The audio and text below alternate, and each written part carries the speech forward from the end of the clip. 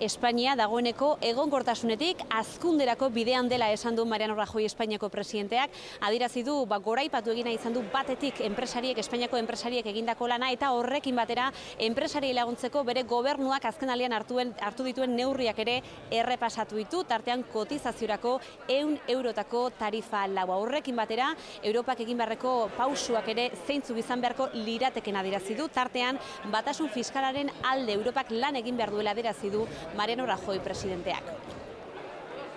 Casi tenemos unión bancaria, pero también hay que empezar a hablar y en serio de unión fiscal y de unión política.